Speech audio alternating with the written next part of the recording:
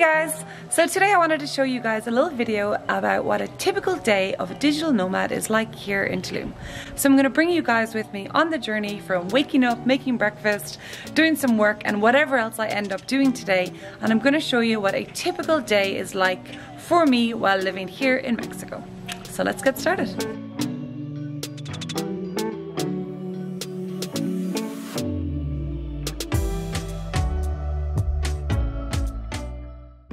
Start my day here in Tulum by making a berry smoothie, adding some granola that I've bought from the local supermarket, Chedraui, and then I head out to my balcony, chill out for about half an hour, and enjoy my breakfast in the morning sunshine.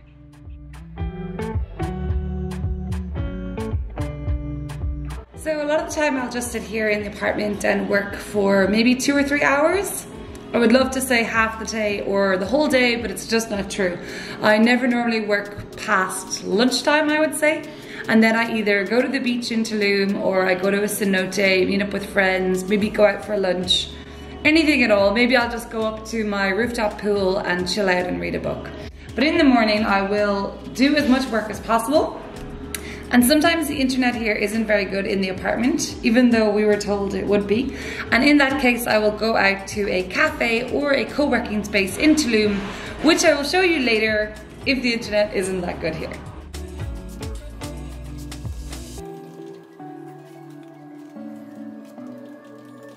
Okay, slight change of plans, which is kind of normal here because I never actually really have plans for the day. But two of my friends just messaged me and they are down at one of the beach clubs on the beach road in the hotel zone. So they are at La Zebra and it's actually a beach club I've never been to before. So I decided to stop all my work, stop what I was doing, jumped in the shower, changed my clothes, and now I'm gonna jump on my scooter and head to La Zebra. Now I heard there's still a little bit of flooding on the road, so hopefully I can get through safely enough. So next up, La Zebra. Okay, so today I wanted to get a cheap lunch before heading to the beach, although it just started raining. Um, so I've just come to one of these small little uh, street food taco stands, right by a supermarket actually. This one's doing tortas, that one is doing tacos, and they're super cheap. Okay, so even though there's a lot of fancy restaurants here in Tulum, like even in Tulum town and definitely along the beach road, some of the best food you're gonna get here is from the street stands. And they have so many different choices, like say if you were ordering chicken tacos, it could be like chicken fajita tacos, or it could be chicken chipotle, or it could be chicken with jalapenos. So they have a lot of different ways that they cook it, a lot of different choices. So pork, beef, chicken, and then loads of different ways that they cook it, all for about 15 pesos or 30 pesos, so between one and two euro. So this is the finished torta. I've just covered it in all these different sauces. Okay, so after some pretty crazy traffic on the beach road, because like the whole road was flooded, I finally made it here to La Zebra. So, just walking in now, because these are all their little private cabanas.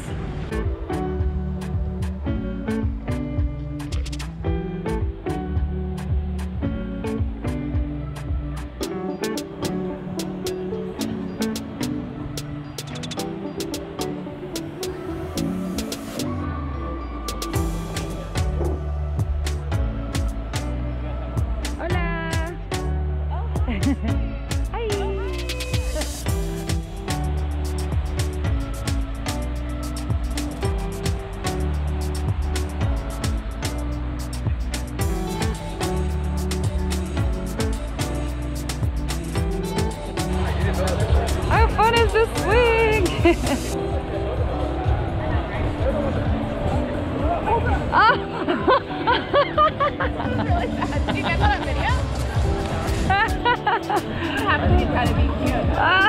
gotta sit in the middle, I think. Should I push you or something? Yeah, yeah, yeah. yeah. so this is La Zebra and they have these cool sort of boats that you can sit inside. You can see a lot of people are just sitting in these boats. They have giant Jenga. After a few hours on the beach, me and my friends decided to check out Gran Cenote, which is one of the most famous cenotes here, located just outside of Tulum. They say it's best to get here quite early in the morning, so when we got here in the afternoon it was actually quite busy, but as you can see from these videos, it wasn't too busy and we were pretty excited to see that there was turtles in the water and you could get in and swim with them. Look at these showers. They're so cool. Look at this! So fun. Oh my god, I love it! Alright, let's do this. Ah! Oh. Ooh, it's cold. so we lost power in my house, so I don't have um, water. So this is probably the only shower I'm gonna get today. Once we had showered and cleaned off any sort of excess sunscreen or body lotion we were wearing, we headed over to Gran Cenote, where we couldn't believe how clear the water was. There was turtles everywhere, and the water was just as clear above as it was below. I definitely recommend bringing a snorkel as if you don't, you're going to miss out on the magic of this incredible cenote.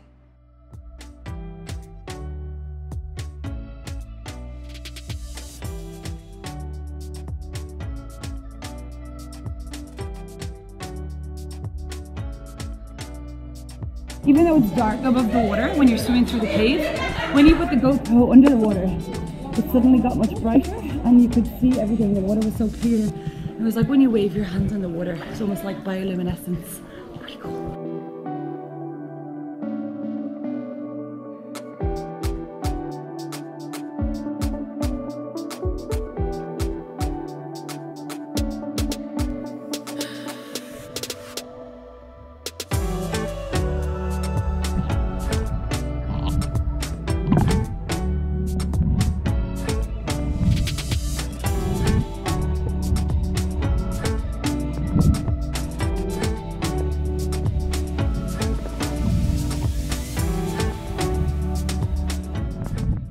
Ended up spending over two hours swimming around Gran Cenote, diving down to the bottom, exploring the various caves, checking out the hundreds of turtles that were swimming alongside us, and we couldn't get over the amount of life that was to be seen under the water, including hundreds, if not thousands, of fish.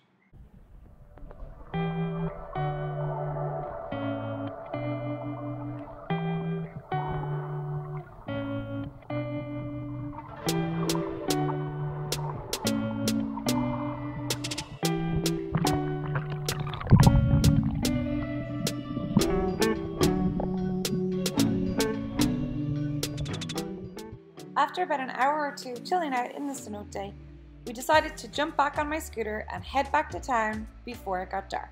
So after a pretty fun day at the cenote, we were driving back into Tulum and my bike, my new scooter, which I purchased a few days ago, only four days ago, it was starting to wobble and it was really, really wobbling quite a lot and I was getting quite scared. I was like, this isn't right, something's wrong.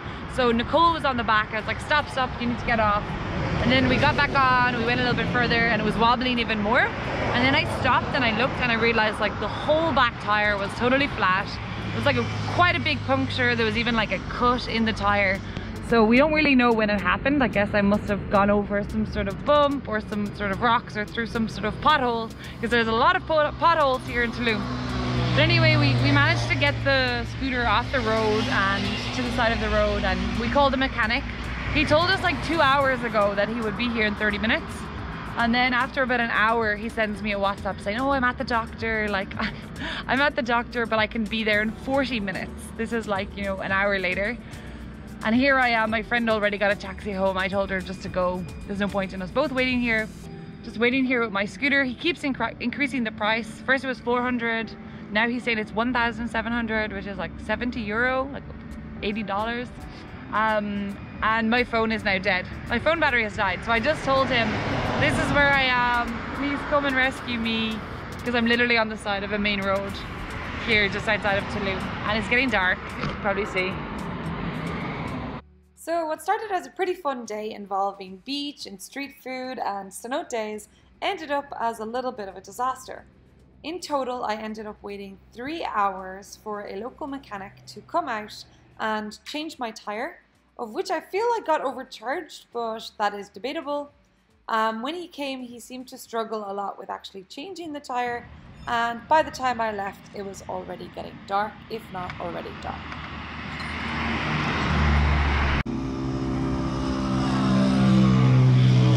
Okay, so the good news is that the mechanic finally arrived. So after like two hours, mechanic arrived, and I think they're finally fixing the tire on my bike, so I can finally go home.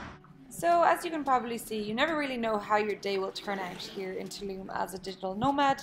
Uh, if you decide to stay in your apartment and work all day, you're probably going to have less fun, but be more productive and have less drama. Otherwise, if you head out to the beach or a cenote day, or if you have a scooter and decide to drive that around town, you never really know what type of adventures you're going to have.